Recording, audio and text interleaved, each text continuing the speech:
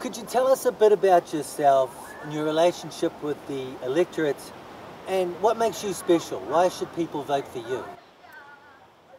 I'd, I'd, love people to vote for me. In fact, I'm asking you to vote for me. And what makes me special? You know, nothing. I'm not special. I'm no different to you. Um, but I care about Napier and I've lived here all my life. I've worked here all my life and I've served this community.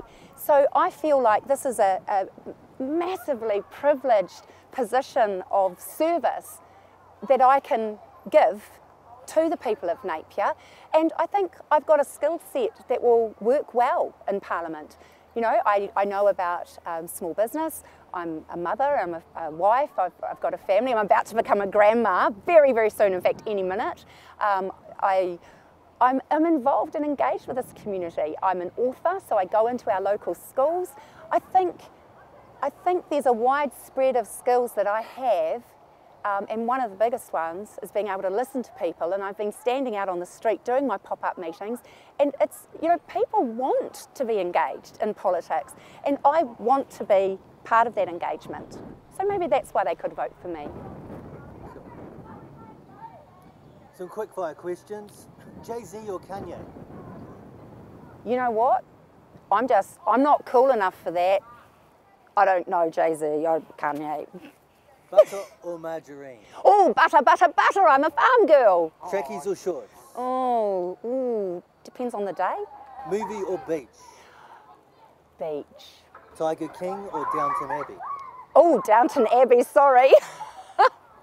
Sun hat or a cap? Uh, I do a bit of both, but mostly a cap at the moment. Flying nun or Sound of Music? I haven't seen either of them all the way through. Have you ever eaten kina? Yes. Did you like it? No. Oh, mm, kinda. Marmite or peanut butter? Uh, peanut butter. Facebook, Instagram or TikTok? Definitely not TikTok. Meerkats or orangutans? Well, my mum's a meerkat volunteer, so it's got to be meerkats. Zombies or vampires? Ooh. Oh, I'm on the fence. If you were to go to university now, what would you study?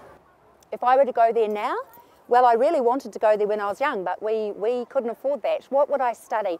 I would study, oh, I'm interested in so many things. Like, do you know what? I don't want to go to university. I want to write books. So when I write something, I study that thing and I, I just immerse myself in it. So if I did go to university, whatever I was studying, I would be immersed in it and I would love it. Fame or fortune?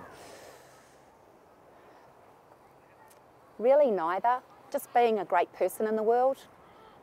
What will be your legacy? I survived. I'm a lung cancer survivor.